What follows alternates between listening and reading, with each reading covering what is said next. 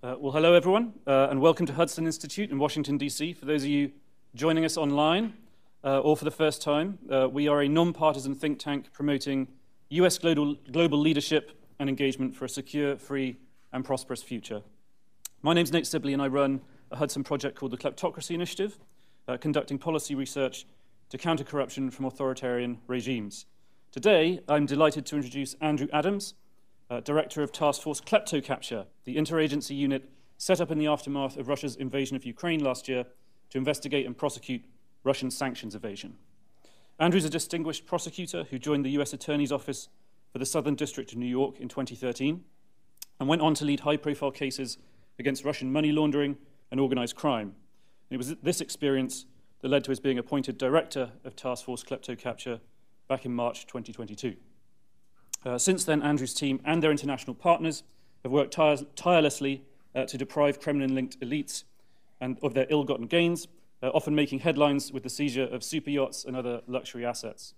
Uh, here at Hudson, we've been sort of laser focused on the Russian kleptocracy issue since 2014. We were one of the first, if not the first, think tank to have a dedicated program to it, and I can tell you I was never, never, you know, one uh, percent of as busy as I was from March last year onwards. So it's amazing to see this issue kind of come to the fore of of US foreign policy in this way. Uh, today, Andrew's going to tell us uh, in more detail about what this work really involves uh, and what new developments we can expect from Task Force KleptoCapture in the weeks and months ahead. He'll now provide some opening remarks, uh, following which we'll proceed to a discussion and audience uh, Q&A. So, Andrew, over to you. Thank you. Thank you, Nate. Thank you, everybody. Let me, let me just start very quickly. Um, by uh, mentioning a quick anecdote. Uh, about five years ago, uh, I was a, a, still relatively mid-level prosecutor at the um, U.S. Uh, Attorney's Office, and sort of at the point where you think about where you want to specialize and what you, you want to do. And I saw a speech by a Spanish prosecutor named uh, Grinda Gonzalez. Um, who talked about Russian organized crime. He talked about it as uh, a form of civilizational assault, I think was the, the phrase that he used. He talked about its corrosive effects on democracy and democratic institutions. And it was really um, an, an inspiring talk that he gave on, on that day. Um, and steered me in this in this direction uh, and remains sort of a foundational text for, for me and for this task force. And I mention it today because it happened at the Hudson Institute about five years ago, maybe in this room. Um, and so it's a, a, special honor to be invited to speak here today. Um, I don't know if it's, if it's normal to have an emotional attachment to a think tank, um, but I do have one uh, that I want to uh, just share with the room before we kick off. Um, so I'd like to, to spend a few minutes at the outset talking about the work that this task force has undertaken in the last year, uh, approximately the last year, some successes, some hurdles and some strategies for jumping those hurdles. And then I'll turn to what comes next, our continued focus on money laundering, on procurement networks, and an expanding global effort to address criminal sanctions and export control violations. Last year, at the beginning of March, President Biden announced at the State of the Union that the Department of Justice would be standing up uh, this task force with an emphasis on targeting uh, criminally derived assets of the Russian oligarchs. Within days, the department had established what is now called Task Force KleptoCapture. And we had, at the outset, two lines of, uh, of efforts that we were prioritizing. The first of those was, of course, the rapid seizure of high value assets around the world. Uh, those assets, yachts, planes, cash accounts, securities holdings, um, real estate, constituted illicit proceeds of one sort or another, typically uh, assets involved in money laundering or the proceeds of sanctions evasion or export control evasion. And the primary goal of those seizures uh, was really a, a, swift demonstration of the power, the breadth, and the commitment of the United States to what is effectively an economic blockade of the people who provide the Kremlin with material support. Taking immediate action was an effort to spur prosecutors around this country and to spur our global allies to follow suit. And those immediate actions were intended as some unmistakable signals to the private sector that the scope and the speed of these investigations was going to require rapid response and an unprecedented, unprecedented level of compliance. I want to give two examples of the early days efforts. The first was the immediate unsealing of charges uh, and the arrest relating to a Kremlin propagandist, Konstantin Malofeev, and his sanctions evasion network. As alleged in the, uh, the Malofeev indictment, uh, he has aided the Russian regime through the provision of funds and propaganda uh, since the original 2014 Crimean invasion. And the case against Malofeev's network, um, it's important to note, predated the creation of this task force. It was a, a project that was actually undertaken um, years prior to the creation of this task force by the Southern District of New York and the money laundering unit there. But while that investigation had existed for some time uh, and had played out over the course of years, our ability, the United States' ability to act on those investigations and act on, on potential charges had been limited obtaining evidence abroad, securing extraditions uh, from abroad had been a tall order in a world where the United States' sanctions program is extended significantly beyond that of even our closest allies. But Russia's illegal and violent breach of international law created the conditions for a dramatic shift in that global context. And within days of the announcement of the task force, we had seized bank accounts in the United States. We'd secured the arrest of Malofeev's facilitator in the United Kingdom. And this was an example of an immediate public demonstration of that sea change in global cooperation and global realignment. Another example is the high speed maritime chase of the yacht known as the Amadea. Uh, unlike the Malofeev case, this is one that uh, unfolded in a matter of weeks, not in a matter of years. And I, I want to emphasize that to track a boat fleeing from an international dragnet from the Atlantic through the Panama Canal and quickly across the Pacific was truly a remarkable feat by a, a group of sleepless attorneys, agents, analysts, linguists, all dedicated to the task force, and by our global partners around the world. And again, that was an action uh, early on as a demonstration of a, a few key facts. One was our willingness to extend resources, time, and money to take oligarch assets out of commission. And two, that jurisdictions that had historically been viewed as opaque, jurisdictions that had historically been viewed as safe havens, could no longer be relied on by Russia's kleptocrats for the protection of their riches. Throughout the Amadea's failed flight across the Pacific, offshore jurisdictions and purportedly opaque countries chipped in to build that case, did it quickly, uh, and affected our warrant ultimately, ending a half billion dollar uh, yacht being piloted into San Diego Harbor. The demonstrative aspects of those early efforts served the broader purpose not only of arresting money launderers, but of arresting the attention of international partners and par partners in the private sector. The signals are important uh, to note that everyone in the democratic, law-abiding world needed to place the, the, same sort of importance on upholding the global sanctions regime targeting Russia that the United States had pioneered as early as 2014. And along the way, we began collecting at least some modest recompense for the people of Ukraine, to which I'll return in a moment for the first goal of the, the task force, of course, the, the goal itself and the means of achieving it are situated in the short term. Um, the assets that we're talking about, apart from physical real estate, are mobile by nature, and our window for executing on those assets uh, would steadily close in the early weeks and, and, months of the task force. We do still see today, uh, and we will continue to see, targets for seizure that remain within our grasp. Our investigations continue to uncover illegal sanctions evasion, and our foreign partners continue to strengthen their own criminal sanctions regimes that in turn expand our ability to project American seizures abroad. So we will have opportunities to continue to collect on the debt that uh, the Kremlin's money men owe to the law-abiding world. But the task force has not only been focused on the short term, of course. And the asset seizure blitz that, uh, that I was just describing uh, is not our only or even our most important priority or undertaking.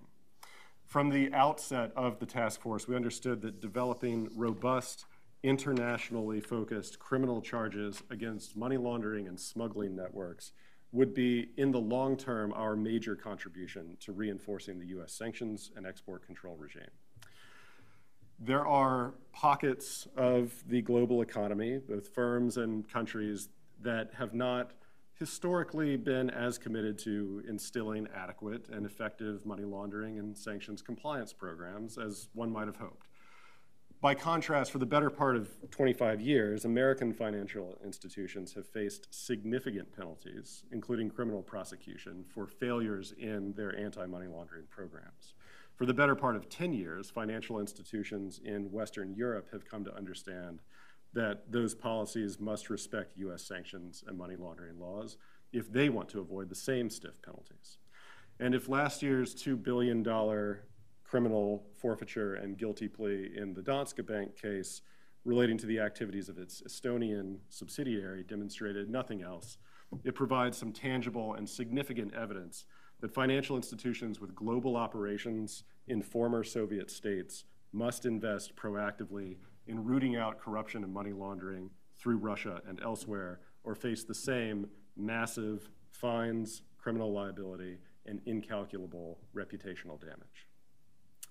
These lessons will be learned in the broader global economy. Businesses that turn a blind eye to illicit procurement networks or novel forms of money laundering through trade based laundering, through virtual assets, will learn the hard way that their business models come with catastrophic criminal risks. And the way that they will learn that is through charges, seizures, and international arrests. And so from the outset, the task force has poured resources into cases that will drive this point home. And of course, coordinated international investigations and significant, sophisticated uh, charges require some time for both investigation and, and execution. And so, as the short term priorities played out, after approximately six months or so, we began to see the task force rolling out cases that fall into this second priority category. and I'd like to touch on just two examples uh, uh, today. The first is in the field of economic sanctions. In October of last year, we unsealed indictments and conducted arrests in the United States and in the United Kingdom relating to the sanctions evasion network of Oleg Deripaska. He's an aluminum magnate with close ties to the Kremlin. Although we, we did charge Deripaska himself and we did list uh, three parcels of luxury real estate as forfeitable property in that indictment, I emphasize this case as an example of the department's focus on not the oligarch himself or his assets, but on facilitators for that, uh, for that target the professionals and the service providers who make their money by assisting sanctioned parties in enjoying the privileges of life in a democracy, even as they hustle to undermine those same privileges for others. The second, I want to highlight the export control cases coming out of the Eastern District of New York and the District of Connecticut last year. These cases targeted networks of US, Europe, and Russia based uh, smugglers and procurement agents smugglers of sensitive and often dangerous technologies. And all told, the prosecutions in those cases resulted in charges against two corporations, roughly a half dozen uh, individuals, including US citizens and including a suspected FSB officer, and the seizure of bank accounts, machine tools, and nearly 400 pounds of sniper rifle ammunition destined to Russia and the Ukrainian front.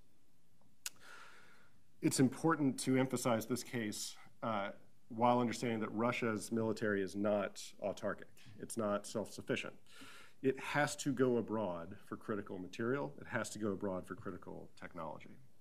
And these cases highlight the commitment of prosecutors in the United States and globally, investigators, linguists, analysts with the task force, and critically our partners in Estonia, in Latvia, in Italy, in Germany, in the United Kingdom, and other countries to imposing serious criminal consequences on anyone whose activities threaten to create a leak in the US and our allies' efforts to strangle the Russian military's ability to continue this ruinous war. So before I talk about what comes next in, in my mind, let me say um, that these cases also highlight a, a key hurdle in our efforts. um, and a related opportunity for some new success. The international aspect of this work is both our strength and it's our greatest challenge. Last January, the world was very different with regard to the enforcement of the US's sanctions against the Russian regime. Notwithstanding Russia's record of unlawful arrests and sham prosecutions of uh, journalists, of sham prosecutions of reformers, of international assassinations and assassination attempts, Notwithstanding all of those things, executing on US requests for search warrants and subpoenas and interviews and other legal process remained a tall order because there is a mismatch in our US and, and foreign allies' sanctions regimes. That's no longer the case in theory, and it is dramatically less and less the case in practice. Although the investigative challenges of excavating layer upon layer of multi jurisdictional fraudulent corporate ownership that, that remains a hallmark of these cases uh, is still a challenge. The alignment and the realignment of international priorities is truly without precedent and continues to make these cases more uh, and more effective. And the cases that I've been discussing are examples, I think, of the power of that alignment, both in the form of seizures of bank accounts, stock holdings, luxury goods, but also in the form of providing information to our foreign partners to ensure the freezing and the confiscation of assets found in other jurisdictions under other jurisdictions' own authorities, and sometimes new authorities. Assets that would previously have been untouchable. We expect that that cooperation will only continue to deepen in the future. The European Union's sanctions directives appear to be moving apace to include criminalization of sanctions evasion, a move that, upon implementation in member states, will continue to strengthen our ability in the United States to make requests for action abroad and will invite requests from abroad into the United States so that we can take action on behalf of our foreign partners. It will also mean that pressure will continue to mount on those countries through which sanctioned oligarchs and facilitators have historically operated in relative secrecy. that international, that increased international cooperation is at the top of my mind as we come close to the one year anniversary uh, of these efforts. The task force, along with others throughout the United States government, will continue efforts to advocate for swift implementation of sanctions here and abroad, the recognition of criminal penalties for evasion, and for international cooperation with U.S. investigations. Top of mind, too, is our deepening cooperation with those in the private sector, from financial institutions to manufacturers of goods of all kinds and all sizes, in aiding Ukraine uh, by cutting its aggressor off from the lucrative and the legitimate world of international trade and finance. We have and we will continue to find success in providing information to and receiving information from private firms. I think about this effort essentially as one um, related to traditional organized crime. In organized crime investigations, private businesses and business people tend to be both the vectors for crime and, um, and exploited by it, sometimes simultaneously. And finding support of private business people in that context, sometimes people who fear for their livelihoods, people who, who fear for their physical safety, is critical to success in organized crime prosecutions. But providing a voice for those people who want to fight that exploitation, who, who hate that exploitation and the taint of organized crime in their private business, is a mission that organized crime investigators and prosecutors meet every day, and it's one that we take to heart in the context of this task force as well. There are millions of people in the United States who drive the wheels of commerce and deliver the seeds of capital who want to contribute to a safe, just, prosperous, and law abiding world. They want and they deserve to feel pride in their professions and in their firms, their teams. And the task force has been and it remains here to partner with them, to empower and to provide an opportunity to act on that pride. And I need the private sector, frankly, if this task force is going to continue to be successful uh, tomorrow and in the long run. To that end, success, in my mind, goes beyond seizures and it goes beyond prosecution. It goes beyond arrest. Success may well lie in providing information sufficient to allow private firms to take their own actions in service of fighting Russian aggression. Abrupt calls on loans, revocation of insurance co coverage that essentially moors a, a, a, vessel, for example, the firing of clients whose adherence to the Russian regime makes them financially and ethically untenable. All of that counts as success uh, in, in my mind. In the future, we're also poised to begin the transfer of forfeited assets for the benefit of Ukraine. I want to highlight this as a, as a relatively recent development. Um, in the closing days of 2022, Congress passed uh, and the President signs the Consolidated Appropriations Act of 2023. And among its provisions is a law that newly empowers the Justice Department to direct forfeited funds uh, to uh, the State Department for the purpose of providing aid to Ukraine.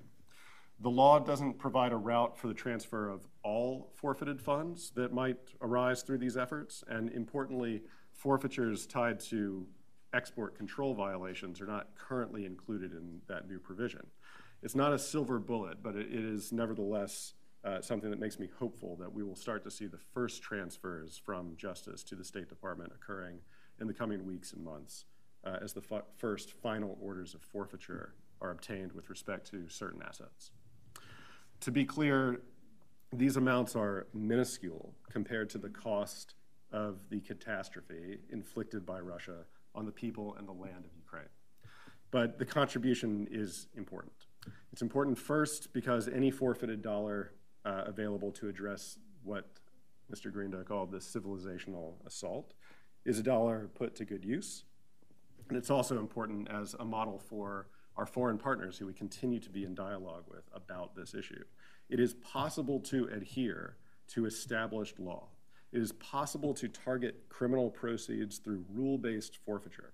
It's possible to give innocent third parties an opportunity to contest those forfeiture and to be heard with respect to our seizures.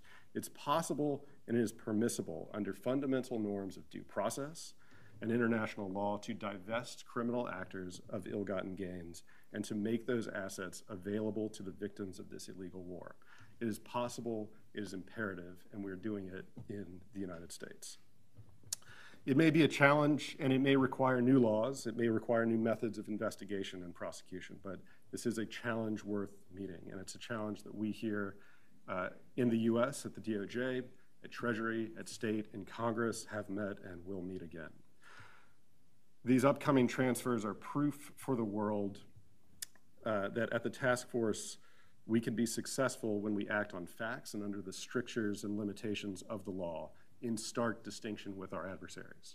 Fundamentally important to this project, in my mind, is that we embrace the challenges. We embrace the, uh, the, the investigatory, the prosecutorial, and the litigation challenges that are inherent in this effort so that those looking to the United States can see this task force and see this aid to Ukraine as an exercise in demonstrating the power of the rule of law and the power of that rule when amplified through dedicated public servants, committed private sectors, empowered private sector, and an unprecedented, unprecedented level of international cooperation.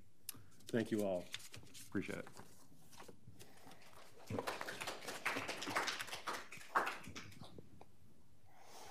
thank you so much, Andrew, for that uh, very detailed and clear overview of all the work you've been doing uh, in the past, coming up to a year. Um, I was delighted you, you brought up the Grinda event, which wasn't the way you'd seen. Uh, and actually, to add a, a, very quick anecdote of my own, one of my first jobs at Hudson Institute was uh, standing at the back of that event, uh, helping to make sure everything ran smoothly, uh, including the translation for Mr. Grinda, who didn't speak English, uh, which was we hadn't done before, so that was that was tricky. But now we're both up here together, I guess. So you know things come around. um, I wanted to start off by asking you a, a, question that sort of jumps to the front of every, a lay people at least mind. Um, and I'm going to I'm going to ask you so because I think journalists will anyway if they don't. But um, is it possible to put a, a figure uh, on the total value of assets that have been sort of uh, frozen and seized by by the KleptoCapture unit uh, si since March last year? And secondly, is it is it possible to to talk a bit more about how much money uh, or what proportion of that is likely to be returned to Ukraine in the coming weeks and months, and any more information you can give us about about that upcoming transfer of assets under the new law? Sure. So uh, on the, the value question first and then the, the process second. On the value, Um, it's not an exact science, but what we have seized, and, and I want to distinguish between what we have either gotten a warrant for or listed in, a, in an indictment as forfeitable, um, as opposed to things that are blocked or frozen by Treasury, which is a, a much larger and yep. frankly harder to calculate number. um, but what is essentially subject to our forfeiture uh, actions is you know in the, the hundreds of millions, if not over a 1000000000 mm-hmm. um, we're talking about the fair market value of super yachts and yeah. uh, and luxury villas, et cetera. So it's not an exact number, mm-hmm. um, but but it's substantial. The um, what's available for transfer, uh, I expect that we will be able to get anything that we forfeited to Ukraine for purposes of, mm-hmm. reconstruction and, and, and aid. The process um, was greatly eased by um, the, the amendment to the, the law at the end of the year last year with respect to um, assets that are related to certain sanctions violations. It, it happens that many of the cases that we have today relate to that particular sanctions violation or that suite of sanctions violations that allow for the, this streamlined provision of funds to the State Department. It doesn't um, that law doesn't doesn't provide the same streamlining for things like export control violations and things that are seized under that authority or related to that authority. It doesn't relate to funds that um, are involved in, in acts that are in violation of slightly earlier executive orders. So there, there are some subset of assets where we may need to um, uh, go through a, a, different route to, to make the funds available. That's fine because the underlying principle of KleptoCapture's work isn't you know, the bulk of US assistance to Ukraine is coming from DoD and the State Department. You know, that's the tens of hundreds of billions or whatever it is, you know, we're going to end up spending. Um, you know, this is more about delivering some measure of accountability and, show, and showing that justice will be done, right? Uh, I, I against, think that's um, right. Yeah, I mean, that's the guiding sort of principle here, um, which is, has huge value beyond numbers in itself, which is why I sort of said other people will ask, I'm actually not massively interested, strangely, in how much money you've seized just more that you're actually doing it, which I think is great. Uh, and then secondly, uh, yesterday um, there was a huge enforcement action against uh, a crypto exchange, uh, Bitzlato, which I hadn't heard of before, but apparently is doing, it's China-based uh, Russian founder uh, with massive sort of sanctions, money laundering facilitator. And it got me thinking, um, you know, one of, the, one of the things that the Treasury used there was an updated authority they had because they hadn't been able to. Um, they, they sort of imposed a sort of a kind of sanction on, on this on this crypto exchange, but they wouldn't have been able to. It wouldn't be able to do it sort of previously without an update to that to that law um, that they used to do it. The authority. Um, because cri crypto is one of those new areas where um, you know, anti-money laundering provisions that were passed, like you know, in, in the, during the war on terror, were designed for old-fashioned banking, where banks had correspondent accounts and you know, sort of gentlemen bankers arranged for money transfers and things. Whereas nowadays, you know, with money service businesses, everything's online. People are just doing it themselves. Um, are you finding, as um, you know, we all, we all, I think most people, at least in this room, are probably familiar with the traditional model of Russian kleptocracy. They they embezzle whatever or whatever it is they steal, uh, you know, whatever it is back in Russia. Then they set up you know, shell companies, they use banks in, you know, offshore tax havens to launder money into the West, into real estate and so on. But as, as the, um, the US leads the Western crackdown uh, on this model of, of, Russian kleptocracy, are you finding that um, the, the, Russian kleptocrats themselves are, are adopting these alternative, uh, moving more into these alternative, um, sort of updated versions of money laundering? Are they using crypto more, for example? Um, so there, I think we do see shifts in, in certain kinds of typology. I'll, I'll, touch on crypto in just a second, but the main shift is is geographic.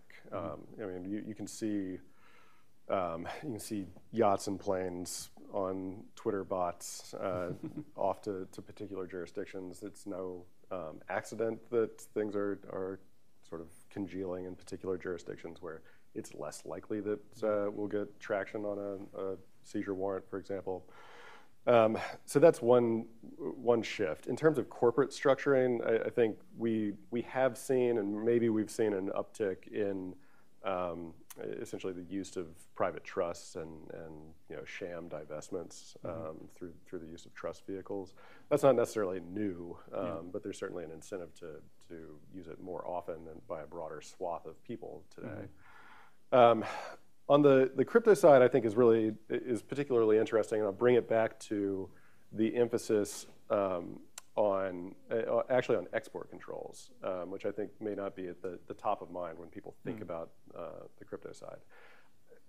The, there are technological um, and economic limitations that make me think uh, that you're unlikely to see an oligarch park a billion dollars of their assets into, you know, FTT, for example, mm-hmm. um, especially today. Um, but uh, and so for, from that from that perspective, as a money laundering tool for parking a huge amount of money and hoping that it stays stable and safe and anonymous over the long term, crypto may have some utility. It's not the most obvious thing, as compared to, say, real estate held by uh, a series of, of nested trusts. Mm-hmm. Um, on the other hand, with respect to export control in particular, crypto is a, is a very good way of conducting a relatively anonymous or pseudonymous cross-border payments um, for goods and services and um, and we look very heavily at at um, at the crypto space in that milieu, and you see some at least some public reporting from firms that uh, that do uh, coin tracing and, and the like uh, of payments to things like Russian military and paramilitary mm-hmm. military groups. So that's um, certainly at the top of mind, but we think of it not so much as an oligarch problem, probably um, more as a, a payments problem. I think that's really important point to highlight about your work is that everyone associates you with oligarchs, but actually you're charged with going after any sort of Russian sanctions evasion, right? That's um, right. Could yeah. you talk a bit more? How much of your work is going after sort of big, flashy oligarchs' yachts, and then proportionally, like you know, going after kind of the, like you said, you, you seized all this sniper ammunition. Um, presumably, that sort of thing is probably more of a priority at this point than, than the oligarchs. Yeah, that, that's right. I mean, like um, we we or discussed earlier, um, we started with two essentially parallel priorities the early days efforts are these, these quick seizures of mobile assets, and that'll continue, continue apace to a degree. Um, but if you'd asked me that question in March of last year, or April of last year, 120% was focused on, um, on the seizure of, of mobile, quickly moving oligarch mm-hmm. assets, while we were beginning these longer term criminal investigations that started to come to fruition in October, roughly, of, uh, of last year at this point, I, I, continue to see some targets of opportunity on the, the oligarch side. We, mm-hmm. I think we will continue to see that. Proportionally, the longer term priority is becoming, I think, uh, more of sort of the, the predominant um, flavor of the task force work.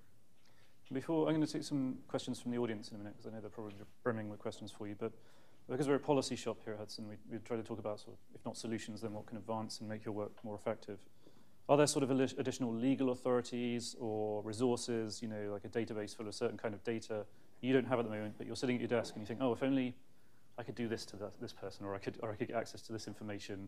This case would be over tomorrow. Is, is, there, is there major things that sort of get in your way that you would, lo- you would love to see Congress or the administration act on to, to make your life easier? Well, uh, it'll certainly over the next year or so. I think it'll be interesting to see how um, impactful beneficial ownership mm-hmm. registrations uh, are. They certainly have been useful um, when that information is available through foreign partners who have have analogous um, registries. Um, and you know, we worked with um, through our Office of Legal Affairs last year. We worked closely with uh, with folks on the Hill on a number of proposals. Um, I, I, think critically, the asset transfer uh, portion did pass, at, at least in a, a, significant way, and that, in my mind, is, is kind of the whole point. Um, So I, I do. Uh, I, I, think that that was a, a, huge success on the Hill. I think it was a huge success at, at DOJ. Um, we had some proposals for expanding a um, forfeiture authority and expanding um, criminal liability with respect to, again, export controls and, and IEEPA, including it in um, among the, the predicate acts for racketeering, for example. Um, uh, that we talked about. So a handful of, uh, of, of, proposals that didn't make it in last year that uh, I'm sure we'll continue to have conversations about. I should say lots of the, lots of those um, you know, uh, uh, measures that you, you, mentioned, you know, I, I, was involved in talking to people on the Hill. I know we have Congress, former Congressman Malinowski's uh, staff, Phil McDaniel, who worked on these, many of these things as well. Uh, I, I don't think those things are, are, dead in the water by any means. You know, clearly, there's clearly a pressing need for them. I hope they come back again uh, this year, and I'll be doing everything I can from Hudson to, to help that happen uh, in my own little way. Um, but thank you so much. Uh, I, have been abusing my moderator privilege, but I wonder if anyone in the audience has any sort of pressing questions. Ilya, hand up, hand up like a rocket there. Is, uh, if you could, oh yeah, sorry, if you could just introduce yourself and your affiliation, just so Andrew knows who he's talking uh, to. Ilya Zaslavsky. I'm, uh, I work at uh, SAIP, but uh, I'm also an activist researcher on Russian oligarchs for over a decade. And it's thank you very much for a great presentation. And it's heartwarming to hear about uh, presentation uh, by Green de Gonzalez, where I was also there. Uh, and obviously, he predicted national security implications from coming from oligarchs in Russia a long time ago. I have two questions for you. so, firstly, um, following sanctions very closely for a long time, even before Ukraine events. Uh, but even with Ukraine events, I noticed that for some reason, US seems to be falling behind on sanctioning individual oligarchs compared to, say, UK and EU. And I wonder why is that happening and if you have any. It seems like US is more focusing on financial institutions proportionately compared to, say, EU and UK. And uh, Second question, um, recently there were media reports uh, suggesting that um, some oligarchs like Abramovich uh, probably knew uh, about the coming war, and that's why they started moving assets um, weeks and days before the, before the war. Have you noticed anything like that in your work? Uh, do, do you have any comment on how uh, knowledgeable um, uh, you know, these oligarchs are about Putin's actions? I personally believe, I, don't have proof, but I, from everything I know about oligarchs, I think they are very close and they remain. Uh, uh, so it all really brings to this uh, broader question of how, how you define proximity of oligarchs. So I wonder also if you have any comment on that broader question. Thank you. Sure. And I think that the, the end of the second question always loops back to the first. So in terms of prioritization for um, you know, who goes on the list, whether it's an entity, an oligarch, family members, et cetera, um, there are subtler minds at work at Treasury than at DOJ, and so I'd largely defer, uh, largely defer there. The work of thinking about the economic implications, um, the political implications, um, both negative and positive, um, it really lies within the, the the expertise and the purview of folks at, at Treasury, State, Commerce Department at, uh, over there. And our work at, at, Justice is really plugging holes in the system that is, is created. So you're right that there, it's not perfect alignment um, or, or an exact match of the lists between the US and the EU or the US and, and the UK. It is um, hard to understate the significantly greater alignment that exists now as compared to January of last year. Um, and then on, on, the second question, um, uh, I'll take it as kind of a, um, a legal question about anticipation of, of sanctions violations. And the, the fact is, absent a different kind of crime, anticipating that a person might be sanctioned and dissipating assets is not a crime um, uh, as it stands today. And so that doesn't mean we don't take a look at um, you know, shady financial transactions that might, might be motivated by exactly that sort of thing. If you're lying to a bank in order to move money quickly uh, in a way that is designed to you know, evade their, their AML policies, for example, you may have exposure in, in different ways that don't implicate a sanctions charge. Um, it's not the end of the story, but it's, it is certainly the case that um, you can't violate a sanction that doesn't exist yet wanted to, uh, just to follow up on Ilya's question, this, um, when you talk about working with international partners on these things and aligning, um, this is the, this is the uh, what uh, I always forget, the REPO task force, so Russian elites, proxies, and oligarchs task force, right? Um, that is, uh, as I understand it, an operational thing between law enforcement agencies like yours. Is there a policy element to that as well, though? Does, is Treasury is part of that? Are they talking about, is that also the, the vehicle through which sanctions are, they trying to align their sanctions regimes, uh, in addition to you lawyers sort of talking to each other about enforcing them? Um, I would actually uh, flip the, the view. So I think REPO, uh, which is an international mm-hmm. task force, and DOJ and Treasury sit on, uh, on REPO. Um, is is largely a sort of policy alignment and um, and exchange of typology information sort of sort of platform. Um, it's not the action arm specifically. The ta- uh, the KleptoCapture, i- at least in the United States, is where where the criminal charges are going to be worked out. And when we need to work uh, work abroad, we'll do it with Eurojust. We'll do it with uh, bilaterally, for example, with um, partners in the UK, with partners in Spain, et, et, et cetera. Okay. Um, any other questions? Amy?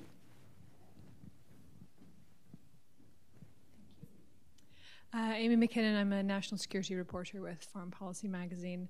Um, I'm wondering if you can speak about the export control component. Um, I assume if there are ongoing investigations, there's not a lot you can say, but can you give us a flavor of is this still going on? Are there still entities which are funneling components or weapons to the Russian military? And do you expect there's going to be future indictments on the export control front?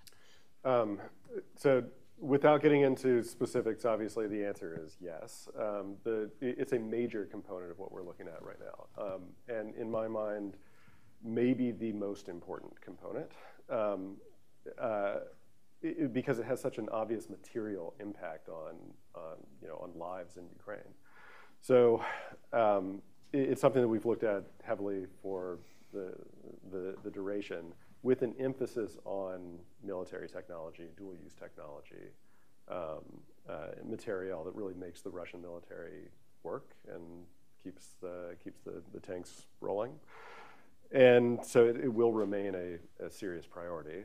We look at things like upticks in, um, uh, in transshipment of, of sensitive technology through Russia adjacent uh, jurisdictions and countries.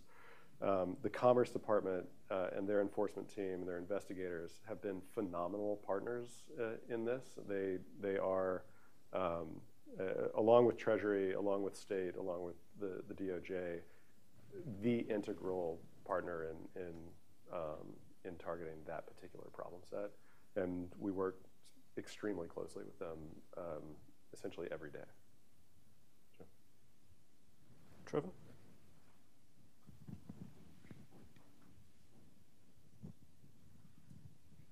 Trevor Sutton, Center for American Progress. Uh, I'm wondering if you could describe a little bit more the, the structure of the task force and sort of what um, resources and I, I suppose facilitation it's sort of unlocked, um, and you know how it's made some of these prosecutions and investigations I think more possible. Um, and I had another question. You mentioned the private sector. Uh, I, I'm curious to what extent you've seen a kind of uh, institutional change in culture since the creation of the task force or since the invasion. Um, I'm sure you're aware, uh, in 2021, there was a big expose published by ICIJ about sort of uh, um, uh, relating to the leak of FinCEN files that I think reflected a sort of endemic um, tolerance for high risk clients on the part of financial institutions. Uh, and even an expectation of regulatory breaches, kind of on the theory that uh, the value of those clients uh, exceeded whatever penalties would be imposed. Um, and I'm curious, I, understand, of course, that much of that regulatory regime is overseen by Treasury, but I'm wondering if you've seen different attitude on the part of uh, financial institutions and other facilitators in terms of like voluntary disclosures or the sort of thoroughness of their uh, AML and due diligence programs. Okay, um, great question. So the, on the um, on the structural point first, uh, and then on the onto the private sector. So structurally, the the task force looks as, as follows: We sit in the Deputy Attorney General's office within DOJ.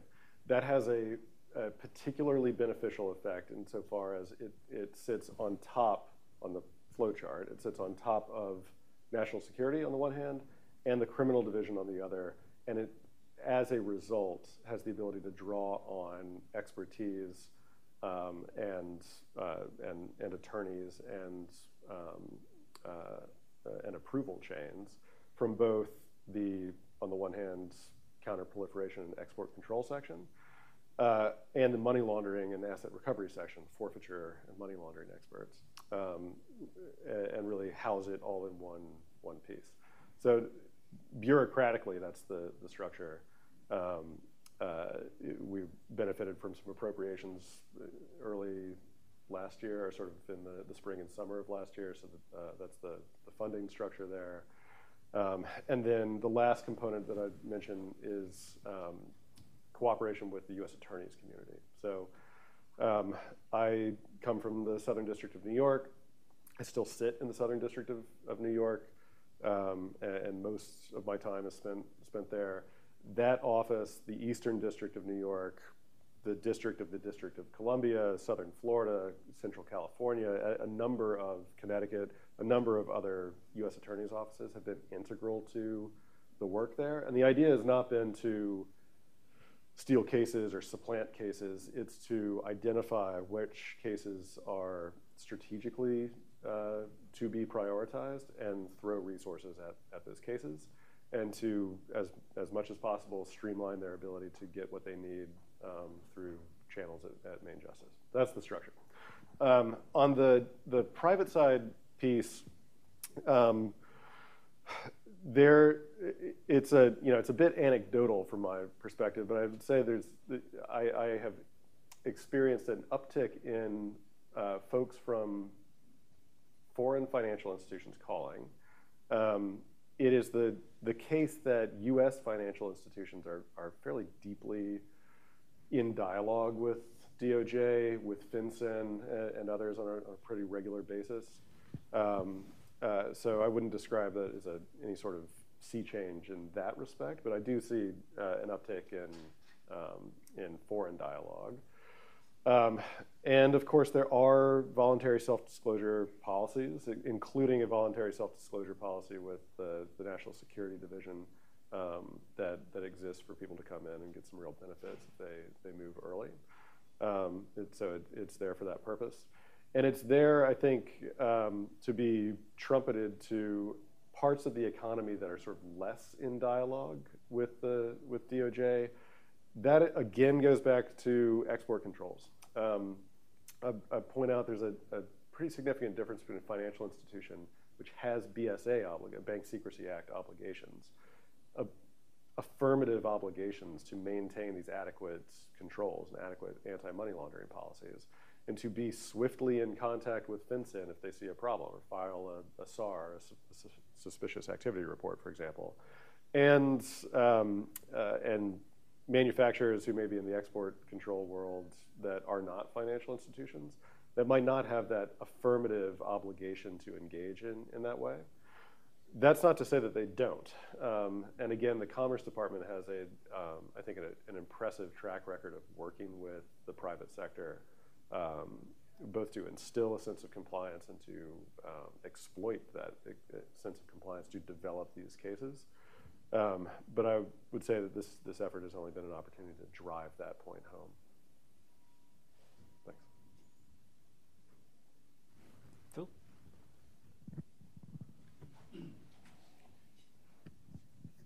Thanks. I'm uh, Phil, the former Congressman Malinowski, who led the congressional effort to get this transfer authority through.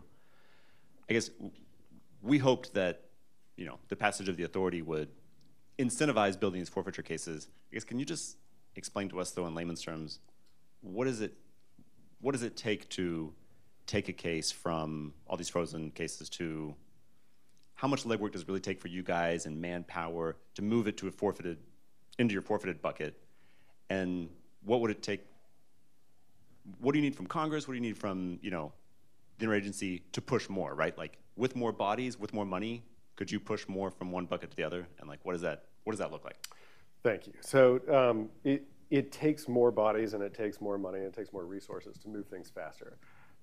there are um, there are people who are dedicated, people being trial attorneys at Main Justice. There are U.S. attorneys' offices and, and assistant U.S. attorneys who are devoted to these cases, and um, uh, and there are more cases than, than there are people to work them, for sure.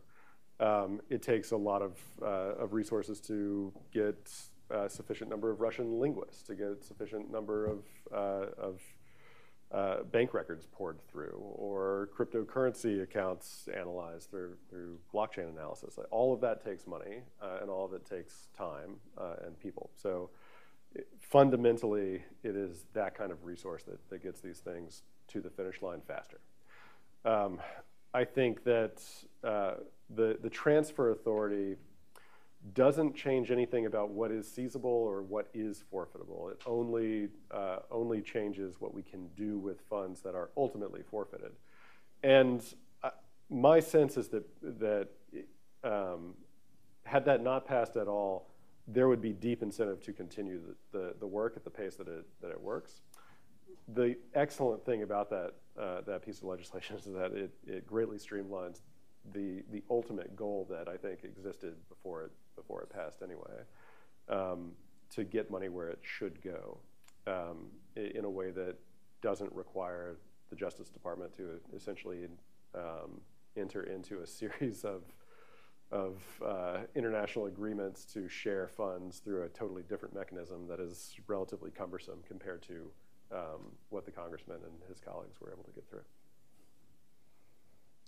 All credit to those uh, members of Congress who did see the potential of the, the, work that you were doing and the importance of it and, and, did so much hard work, including your boss's office, uh, Phil, last year.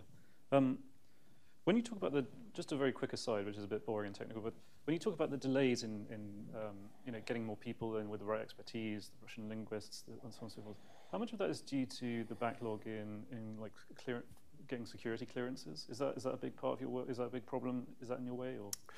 Um, on, the, on the margin, it can be with a particular AUSA or a particular trial attorney. Um, it's certainly not the I wouldn't describe yeah. it as any, anything like a predominant problem. I always ask because it seems to clog the wheels of every, everything and good that anyone's trying to do in, in uh, Washington. so um, I have a quick question. Um, you mentioned earlier that you're seeing new, um, when I asked you about new, new methods, you said you're seeing new, new jurisdictions come into play um, as centers for, for sanctions evasion and money laundering. I mean, the ones that have hit the headlines are United Arab Emirates and Turkey as two particular places where um, oligarchs at least are parking their money. And, and, Turkey, I know, has had a lot of strange um, boost in, in, financial flows, which it can't account for. Um, what are the sort of additional?